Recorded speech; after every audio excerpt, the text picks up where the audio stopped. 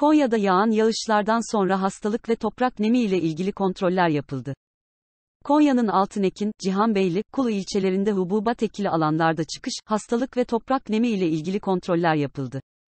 Erken dönemde ekimi yapılan hububat sahalarında Ekim ayının ilk haftalarında görülen yağışlarla birlikte çıkışların tamamlandığı, bitkilerde 2-3 kardeş safhasında olduğu gözlendi.